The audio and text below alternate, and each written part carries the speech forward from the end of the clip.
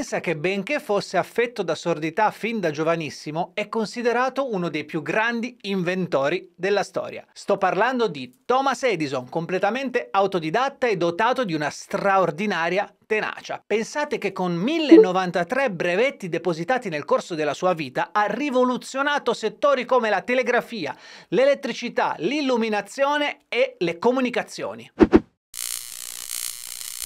Thomas Edison nasce nel 1847 a Milano, nell'Ohio, da una famiglia, possiamo dire, modesta. Sin da piccolo il bambino mostrò interesse per scienza e per fare delle invenzioni. Nel 1857 lascia la scuola per aiutare la sua famiglia, perché poiché è l'ultimo di sette fratelli, in casa c'era bisogno di una mano. E quindi, oltre a fare i suoi pericolosissimi esperimenti nel seminterrato di casa, fa anche dei lavori sporadici per guadagnare qualcosa casa, quindi vende giornali e dolciumi sui treni, fa l'aiuto macellaio, fa il venditore di frutta e verdura. E proprio sui treni continua a fare esperimenti di ogni tipo. Pensate un po' che si mette a stampare, a distribuire proprio sul treno il The Weekly Herald, il primo periodico che fu proprio stampato in movimento su un treno. E pensate un po' anche che il quotidiano The Times ha pubblicato un articolo eh, su Edison piccolino che fa questo lavoro e il suo giornale.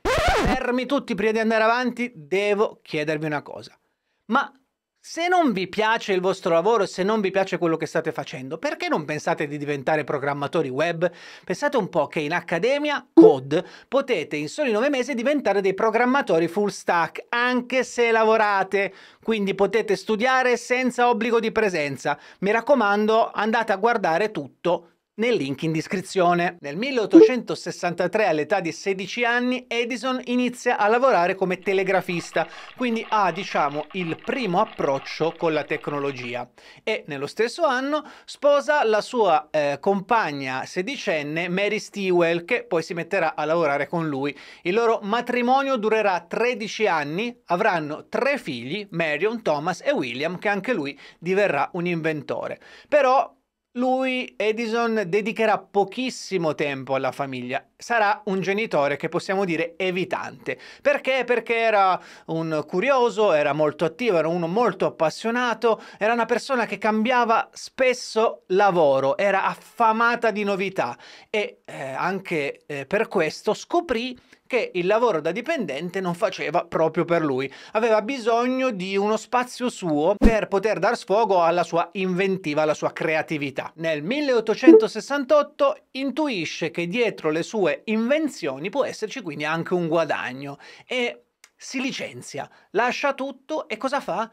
fa una domanda per depositare il suo primo brevetto, ovvero un registratore di voto elettronico, che ha creato cercando di migliorare quello che era poi il suo mezzo di lavoro uh, originario, quindi dal telegrafo è partito, ha cercato di migliorarlo e si è cominciato a accorgere che poteva diventare anche altre cose e l'ha fatto diventare appunto un registratore di voto elettronico. Da qui in poi cominciò a mantenersi vendendo le invenzioni che creava e collaborando con le aziende come consulente. Non molto lontano nel 1876 all'età di 29 anni Edison fonda un laboratorio a Menlo Park nel New Jersey che divenne noto come la fabbrica delle invenzioni e qui Edison lavora con il suo team per sviluppare e perfezionare nuove invenzioni. Per comprendere meglio Edison e il suo carattere possiamo citare una delle sue frasi più importanti.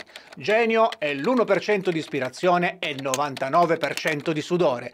E con queste parole si comprende proprio quanto fosse prolifico come inventore. Era una persona che produceva tantissimo, non aveva tempo per nient'altro se non nel cercare di migliorare le sue invenzioni, nel cercare di risolvere dei problemi. E a forza di lavorare, Edison comincia anche a perdere l'udito. Eh, forse a causa degli esperimenti, delle esplosioni che provocava per cercare di scoprire cose nuove, o forse a causa di una scarlattina contratta in giovane età. Ed era un vero e proprio problem solver, cercava sempre di migliorare le cose, di migliorare un problema. Ed è proprio lo stesso modus operandi ossessivo che aveva poi, che avrebbe avuto poi Steve Jobs degli anni più tardi.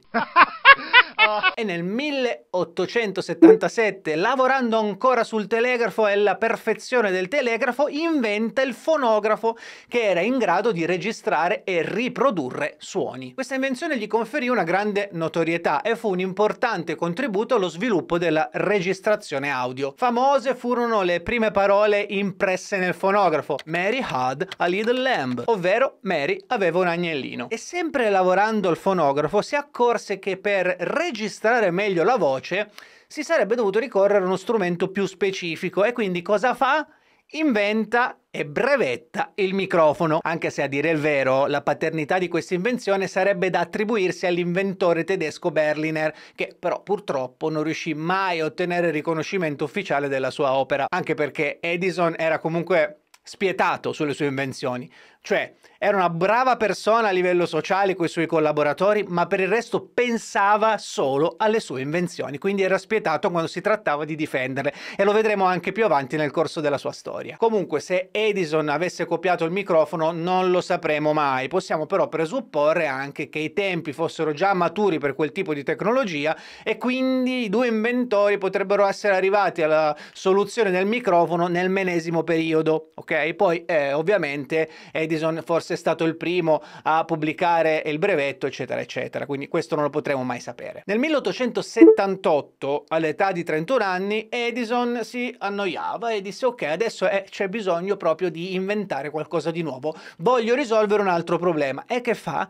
Prende le lampadine dell'epoca e dice queste non funzionano bene, performano poco, sono molto costose, ovvero durava pochi secondi e si infiammava. E come ogni volta che Edison si troverà di fronte a un grosso problema di mercato da risolvere, ci fonderà un'azienda. Così nasce la Edison Electric Light Company con lo scopo proprio di sviluppare e commercializzare un nuovo sistema di illuminazione a incandescenza. Quindi nel 1879 presenta il modello funzionante di lampadina incandescenza che utilizza utilizzava una sottile striscia di carbone come filamento, che avrà un impatto rivoluzionario sull'illuminazione domestica industriale. Poi nel 1880 disse ok, la lampadina l'abbiamo fatto, però adesso bisogna anche trovare il modo di fornire corrente alle case, se no che ce ne facciamo di queste lampadine? E quindi si dedica allo sviluppo del sistema di distribuzione elettrica a corrente continua. Purtroppo nel 1884 la moglie di Edison, Mary, muore e lui eh, in questo momento di lutto si dedicherà ancora più intensamente alle sue invenzioni.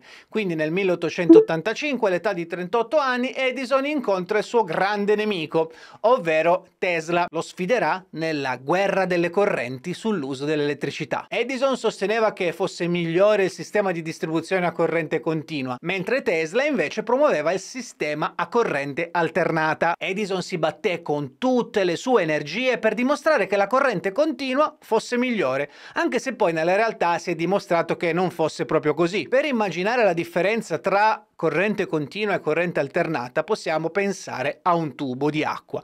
Nel caso della corrente continua si vedrà sempre uscire lo stesso flusso di acqua e la stessa quantità di acqua. Nel caso di corrente alternata invece si vedrà un'uscita a onda, ovvero 0-100, quindi da 0 al massimo, quindi come se fosse un po' a schizzi. La corrente continua è più costosa da produrre e ha ridotte capacità di trasmissione sulla lunghezza rispetto magari alla corrente corrente alternata che ha costi minori di produzione e maggiore raggio di azione, quindi possiamo arrivare più lontano con quella corrente dal punto di partenza. Ma da gran testone qual era Edison, pur di dimostrare che la corrente alternata fosse pericolosa per le persone, finanziò segretamente l'invenzione di uno strumento di morte a corrente alternata, ovvero la sedia elettrica. Invenzione che poi tutti sappiamo che purtroppo è stata anche di grande utilizzo in tutti gli anni successivi. Sempre nello stesso anno, nel 1885, Edison conosce Lewis Miller, un ricco imprenditore che sarà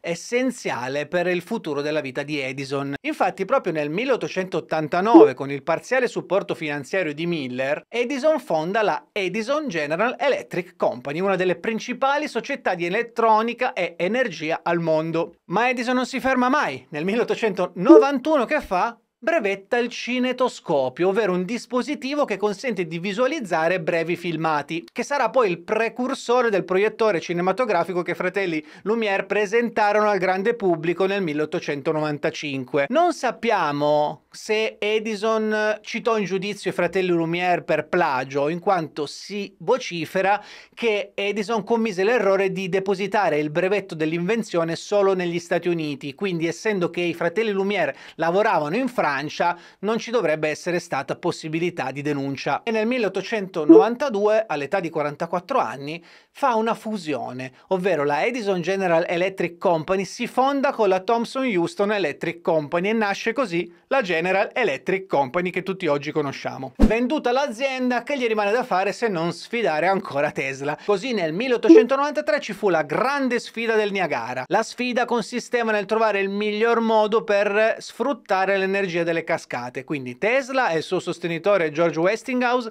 proposero il sistema ad energia alternata. Invece ovviamente Edison eh, ovviamente propose la corrente continua, ma come tutti sappiamo, il sistema a corrente alternata è migliore quindi vinse l'appalto Tesla. In questo caso Edison fallì, però dimostrò anche di essere un gran resiliente, quindi lui non mollava mai. Nel 1894 uscì il primo film proiettato con il collaboratore regista William Dixon, che era The Edison Kinetoscopic Record of Sneeds, ovvero la registrazione di uno sternuto. Sebbene il film fosse della durata di 5 secondi, diventa proprio uno dei primi esempi di filmati cinematografici che ha contribuito a introdurre al pubblico l'arte della proiezione cinematografica. Nel 1899 torna la noia. Edison decide di fondare una società che si occuperà di sviluppare un metodo di estrazione del ferro dalle miniere, ovvero una macchina che utilizzava un magnete per separare il ferro dai detriti. Anche questa volta purtroppo il progetto non raggiunse mai il successo desiderato. Ci furono ostacoli vari, tra cui problemi tecnici, costi di produzione e una domanda abbastanza fluttuante del ferro sul mercato. Un altro fallimento, ma non importa. Nel 1901 Edison fonda un'altra compagnia, la Edison Storage Battery Company, per sviluppare e commercializzare la sua batteria alcalina, su cui aveva lavorato nei dieci anni antecedenti. E purtroppo anche in questo caso il progetto fallì.